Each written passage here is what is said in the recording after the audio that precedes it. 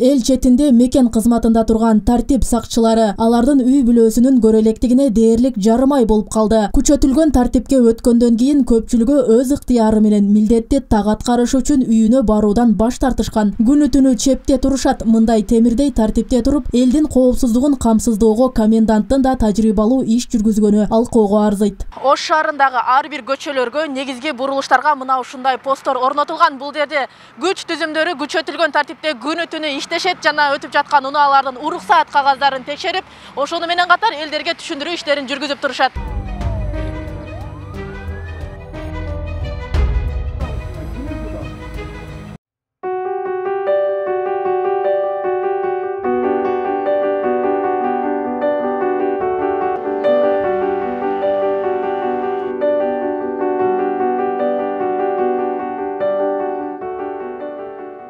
өзгөчө абал киргизилип кыймыл чектелди. Бирок ош шаары көркүн жоготкон жок. Ошол тапта жашылдандыруу кызматкерлери шаарга он миң даана жоо газын эгип чыгышкан. Азыркы тапта алардын ордуна экинчи гүлдөрдү отургузуу процесси орун алууда. Аны менен катар жашылдандыруу ишканаларынын кызматкерлеринин бир бөлүгү дезинфекциялоо иштерине тартылган. Андыктан ош шаардык мэриясына жардам иретинде келген коргонуучу кийимдер бет каптар баары ушул эки ишканага бөлүнүүдө өзгөчө кырдаалдар башкармалыгынын ош шаарынын башкармалыгы жасап атат ошол аркылуу чоң көчөлөрдүн баардыгын базарларды мына бул тешик таш оптон базарын күндүк эртең менен жасап атышат андан сырткары ушул чоң көчөлөрдү ички көчөлөрдүн баардыгын бир сыйрадан кылып бүтүштү.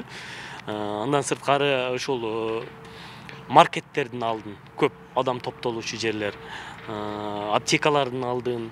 Андан сырткары буларга кошумча биз жашылдандыруу көрктөндүрүү комбинатынан кызматкерлерди алып бергенбиз алар бир бригада болуп ушул көп кабат үйлөрдүн алдыларын. Дворлорду баягы балдар ойночу жайларды баардыгын дезинфекция жасап атат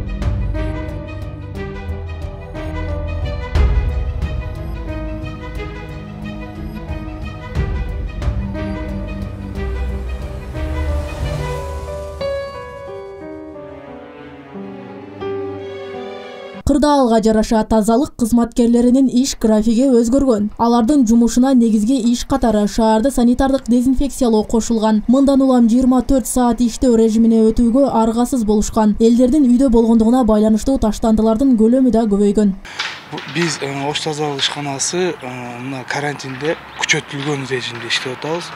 Эртең менен таңгамал беште чыгат жана камалга чейин иштешет күжүрмөн катарда ыктыярчылар да бар. Алар социалдык колдоого муктаждарга азык түлүк жеткирип гана тим болушкан жок айрым блокпосттордо кадимки кызмат адамындай иштеп жаткан ыктыярчы жигиттер бар. Алар ар бир өткөн унааларды дезинфекциялап турушат бүгүн аба ырайы күндөгүдөн суук ага карабай ыктыярчы жигиттер дагы жумушун үзгүлтүккө учураткан жок блокпосттордо өтүп жаткан ар бир унааларды дезинфекциялоо иштери үзгүлтүккө учурабай так аткарып жатышат сиздер үйдө биз жумушта сиздер үйдө биз жумушта абжей кандайсыз ден соолук жакшы кантип атасыз балдарыма бара элекмин эртең барып келейин деп атам но барганым менен біз толуп экен да контакт болбош керек монтип айнектен карап балдарымычы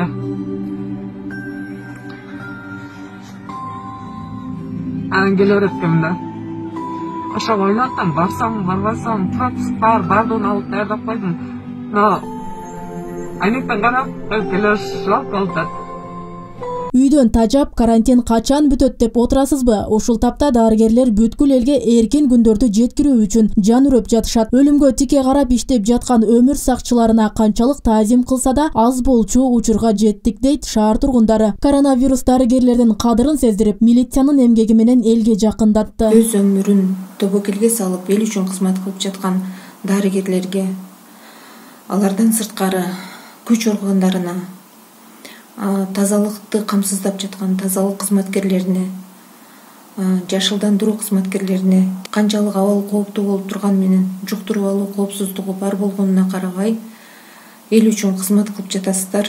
Сиздерге терең ыраазычылык. Ал эми жаз менен жарышып шаарыбызды көрктөндүрүп дагы да болсо эртеңки жашообузга жаркын маанай тартылып аткан тазалыктын кызматкерлери коюлган талаптарды сактап айтылган бизге берилип жаткан насааттарды угуп сабырдуулук менен үйдө отуруп колдоп берсек биздин көрсөткөн чоң жардамыбыз колдообуз ошол коронавирус аталган кызматтардын кадырын арттырды. Баш сабында сакчылар статусундагы өмүр сакчылары жана тартип сакчылары турат. Алардын кызматтарын четте калтырбай коомчулукка чагылдыруу жана маалыматты тактап жеткирүүнү биздин каналда колго алган. Андыктан учурдагы кайчылаш кырдаалда өмүрүн арнаган кызмат ээлерине таазим этебиз.